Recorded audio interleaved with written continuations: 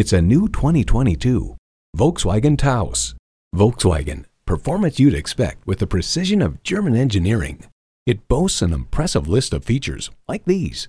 Intercooled turbo inline four-cylinder engine, front heated bucket seats, streaming audio, manual tilting steering column, Wi-Fi hotspot, external memory control, aluminum wheels, inductive device charging, and automatic transmission.